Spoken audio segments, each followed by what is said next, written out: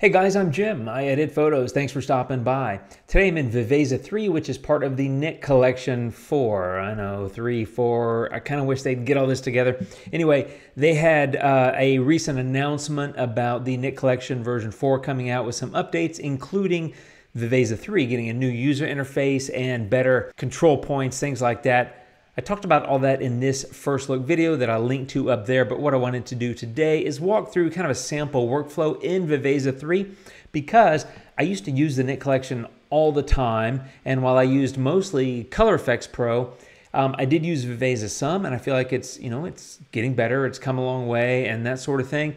And this uh, review that I did in that first look video that I pointed to a moment ago kind of got me re-interested in Viveza 3. I thought I'd jump in, walk through and edit, kind of see what this thing's all about, and just have fun, really. So let's take a look. Here is a sunset, and um, if you haven't seen the new user interface, hey, the user interface is new. It's more modern, it's just more current, it's better, to be honest.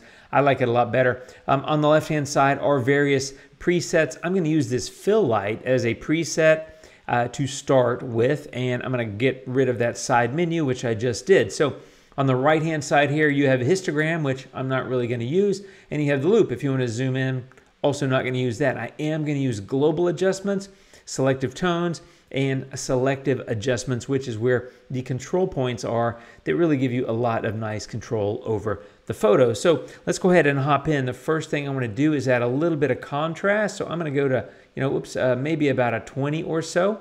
And I'm gonna do the same thing on saturation, maybe give that about a 20. And then I'm gonna come down here to warmth and I'm gonna warm that up at about 15. It is a sunset, as you can see. This was taken in Victoria, Canada a number of years ago. Anyway, looking good color-wise and all that, but obviously way too dark. So highlights are gonna come down. I just wanna make sure that they kind of stay under control there in the sky. I am going to lift the midtones a little bit more, so maybe mid 30s, and I'm going to lift the shadows a bit more as well. I'm going to go like low 50s, something about like that, and I'm going to leave the blacks at 8. So, you know, so far, if I hold down the before and after, there it is before and after, and this one, of course, is a split screen. You can see much warmer looking sunset, better visibility, all that kind of stuff. And let me go back to this. And it's one of the nice things about Viveza. It's really about light and color, right? And those are the two things I'm primarily working on here in this photo. So I feel like I've got a pretty good base edit so far, but this is where I start jumping into selective adjustments. Now, if you wanted to further refine the temperature, you can click on white balance, come in here. You can see it's kind of defaulting to something, but you can come in here and make adjustments as necessary. I'm not doing that here. I don't feel like I need it. I'm gonna go back to what I had before.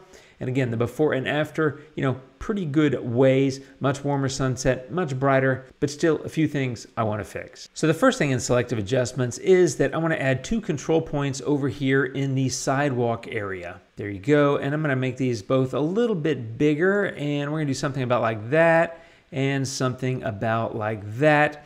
And what I want to do is I want to group them together, which you can do. So click those two. I'm going to create a group and I'm going to rename that group Sidewalk. And this allows me to edit them as a group as opposed to individually editing each control point. So now that I've done that, I want to go into luminance and chrominance and take a look at the mask. So I'm going to turn that on. This is the mask view. If you click that button there, and it's highlighting the entire group, as you can see and luminance and chrominance allow you to further refine that mask. If I drag the luminance to the right, you can kind of see what's happening. I just want to make sure I don't spill too much over into the water with what I'm doing here. And chrominance, I usually, honestly, I just play with both of these sliders. I don't have any particular routine. I'm not really seeing a big difference with chrominance, but luminance I think had a nice little effect. I think something about like that looks good. I'm gonna go ahead and turn off the mask view so that I can see the photo. And now I'm down here. In fact, hang on. I like to close the global adjustment menu because otherwise you have all this stuff and you're kind of scrolling and you're like, where's my stuff? Um, I like to see my stuff. So I'm in selective adjustments. I've got two control points on the left-hand side as a group. I've renamed it sidewalk. And now I'm over here and I just want to kind of make a few adjustments. So first thing I'm going to do is brighten it up and you will see the entire sidewalk area is getting brighter because both control points are being controlled at the same time. Tiny bit of contrast here, maybe a little bit like that, maybe a tiny bit more brightness. I do want to have visibility into that gentleman walking toward me.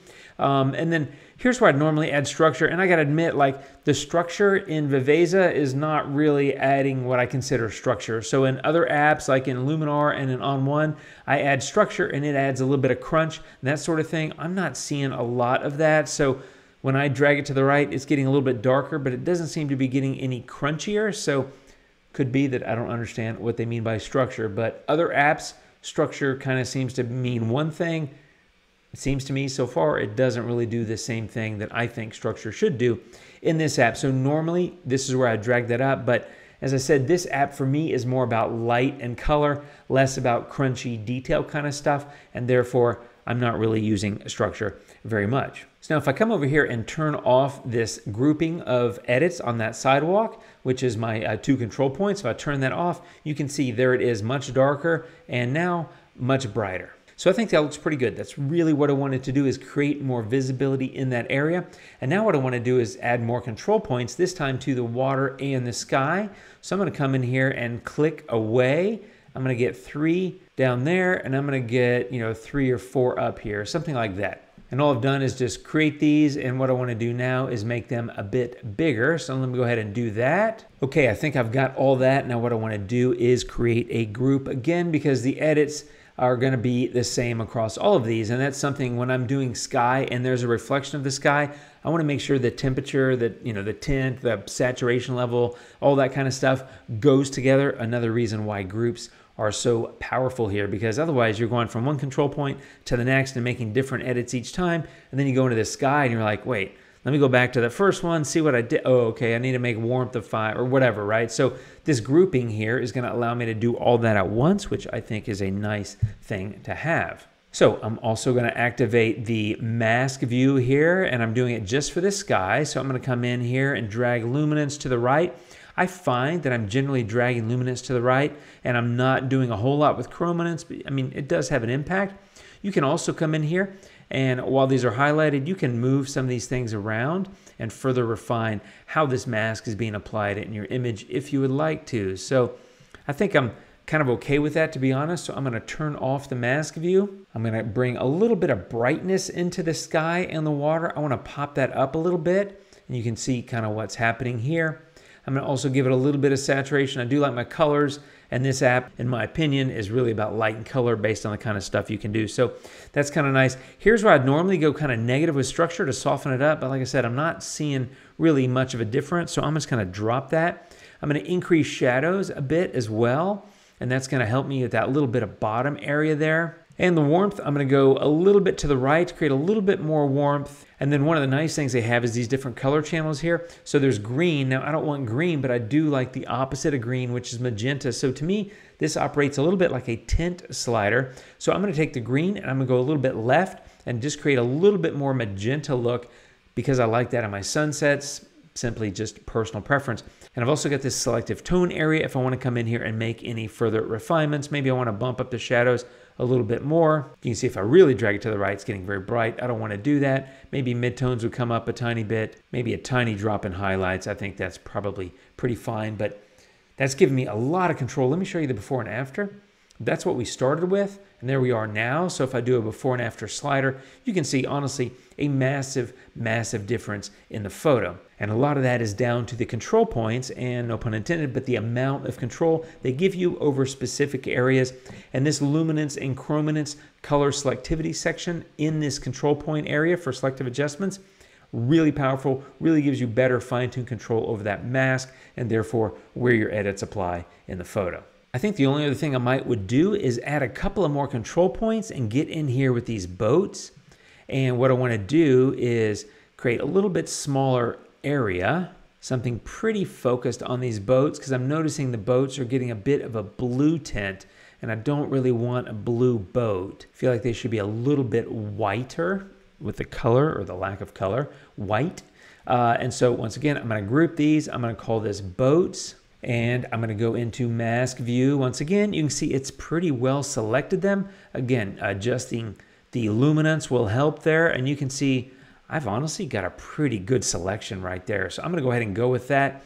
And what I want to do is basically just increase the brightness a little bit of those boats, which is going to help them appear a little bit more white. I'm to take the saturation down so it's not so blue. and maybe give them a little bit of warmth as well. Maybe not very much. I need to be careful there. So you can kind of see, I think this one needs to be refined a little bit, that mask, and maybe repositioned a little bit. And I want to go check my mask view again. Yeah, I think that looks pretty good. So that's what the boats were like before I did this grouping of control points for the boats. And when I turn that back on, you can see that's what they look like now. So less blue, a little bit brighter, that sort of thing. I could probably refine that a little bit in terms of the reduction saturation and the brightness. And the other nice thing is, of course, you can add just more control points if you want to get more specific. Like the front of this boat right here might need a separate control point because it's not picking up quite enough of that blue reduction for my taste. The point is you have that kind of control. You can go in and customize it and really basically hone in or zoom in, so to speak, on specific areas. But that's a workflow example and kind of a quasi tutorial on Viveza 3. New user interface, much better use of control points without luminance and chrominance for refining the masks. Just gives you great control. And one more time, if I do a before and after, I mean, honestly, we had a massive, massive impact on this photo, starting like that, ending like that. One more time, before and after. And that's how I use Viveza 3, my friends. Hope it gives you some ideas. Thanks for hanging out, stopping by, that sort of stuff. If you have any questions, let me know, and I'll catch you in the next video. You guys take care of yourselves. See you soon, and adios.